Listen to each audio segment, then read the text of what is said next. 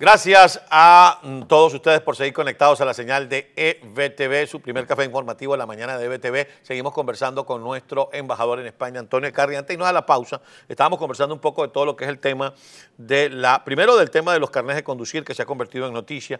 Luego nos hablaba el embajador del tema de la solicitud de asilo o de residencia humanitaria y lo que significa que algunas personas se queden allá. Y hablábamos del problema sanitario y lo que me pareció propicio fue preguntar sobre el tema de cómo están accediendo los venezolanos que viven en España al tema de las vacunas contra el COVID-19. Bueno, mira, aquí hay, ese es otro problema que también lo acabamos de plantear a las autoridades, eh, porque el gran, la gran mayoría de nuestros compatriotas, que, digamos, los que han conseguido asilo o residencia por razones humanitarias y permiso de trabajo, entonces eh, tienen tarjeta sanitaria, tienen acceso a la seguridad pública. Lo que acontece es que aquellos que no tienen eh, permiso de trabajo eh, que, y por lo tanto no han cotizado a la seguridad social, no tienen tarjeta sanitaria. Le hemos planteado que ese es un tema que tienen que, que regularizarlo el gobierno porque no solamente se trata de venezolanos, sino también muchísimos otros inmigrantes que también están en la misma situación.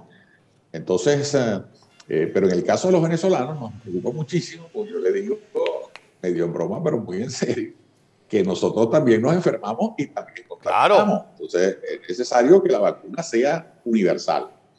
Ellos me han dicho que, bueno, que ellos han sido muy rigurosos, rigurosos digamos, en, todo este proceso con únicamente con los inscritos en, la seguridad social y, por, digamos, por etapas eh, etarias, de acuerdo a las edades, etcétera, pero que una vez que, eso se regularice, pues por supuesto que también van a entrar a a ser vacunado todo. Ellos eh, me han dicho que, por supuesto, absolutamente conscientes de lo que nosotros les decimos, ¿no?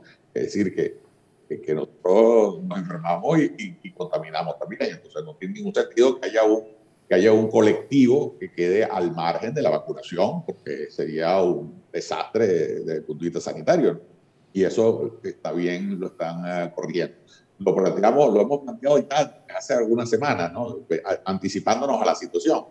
Hoy nos dijeron que, bueno, este, eso ya estaba en proceso para que eh, fuese tomado en cuenta, que, pero que no tuviera ninguna duda que todos vamos a ser vacunados. ¿Tiene alguna suerte de registro ustedes en la embajada de compatriotas que estén en situación difícil por el COVID-19 eh, allá en, en, Madrid, por ejemplo? No, no tenemos una, una cifra exacta, pero sí con gente contaminada, pues, como en todas partes y como, como todas las nacionalidades. Número exacto no tenemos porque vamos a hacer registro, ese registro sanitario. Tú sabes que aquí además el tema, el tema de registro de identidades es muy delicado. Eh, aquí eh, hay una ley de protección de datos que no, esos datos no, pueden, no los pueden suministrar. Nosotros llegamos y pedimos un hospital que nos diga quiénes son los venezolanos, no nos dan esos datos. Eso está absolutamente prohibido. Pero por supuesto que hay que todas las nacionalidades, está pasando lo mismo en toda parte del mundo. El, el, el COVID no discrimina. Sí.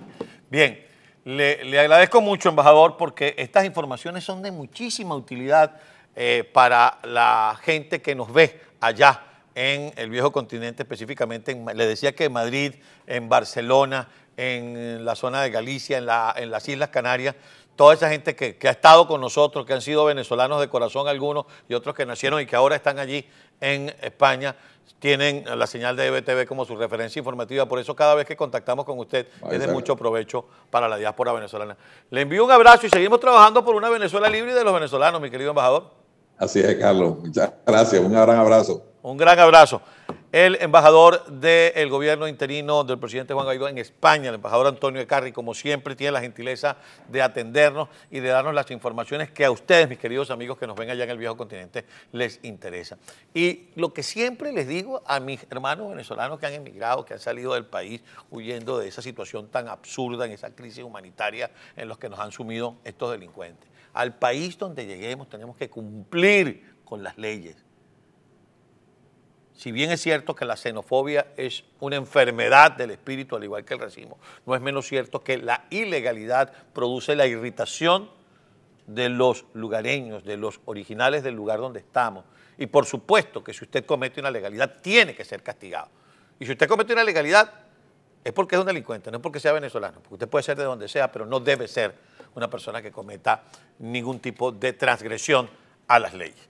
Bien amigos, estamos ya casi por irnos, ya está listo el equipo de Chic al día con Norquis Batista y todo su equipo para llevarles la mañana más variada y más entretenida de la televisión. Ustedes pendientes durante toda esta semana, por cierto, quiero eh, recordarles que durante toda nuestra programación, en esta semana de homenaje al doctor José Gregorio Hernández, el siervo de Dios, el beato venezolano a partir de este 30 de abril, hemos recopilado nuestro equipo en Venezuela una serie de testimonios de personas que eh, tienen que decir sobre los favores recibidos, como se dice habitualmente, del doctor José Gregorio Hernández. Y esto forma parte de esta programación especial que vamos a tener el día viernes aquí en EBTV. Ahora sí, preparados todos, Armandito, ¿listo?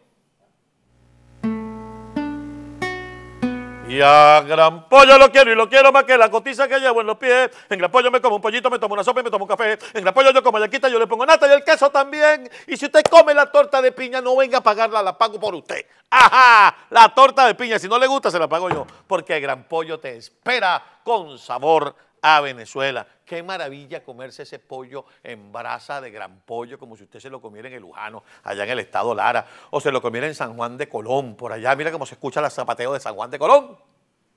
Ahí está, también como si se lo comiera usted en cualquier parte de Venezuela, porque tiene ese sabor que a usted le encanta del pollo en brasa venezolano. Usted en Venezuela dice nos vemos en la pollera, aquí no, aquí dice nos vemos en Gran Pollo, porque Gran Pollo te espera con sabor a Venezuela. Pegados de la programación de EBTV, que tiene todo lo que usted necesita conocer, nuestra programación de entretenimiento, nuestra programación informativa. Como siempre les digo, no a la xenofobia en contra de los venezolanos ni en contra de nadie. Es una enfermedad del espíritu. Y que Dios bendiga a Venezuela y a los venezolanos donde quiera que se encuentren. Hasta mañana. Este programa fue presentado por Arte Patio. Los Roques, donde la comida también es tradición. Ex Office. Soluciones ejecutivas inteligentes. Gran Pollo. Gran Pollo te espera con sabor a Venezuela. Aguacate Express. Envíe más y pague menos. Barbecue 58. Our Grill. Our Rule. Pure Sprayer. Alta tecnología al servicio de la protección de su salud. Tanto vital, tan vital como necesario. Oficina de Inmigración de la abogada María Trina Burgos. EBTV Store, tu tienda online de EBTV para ti.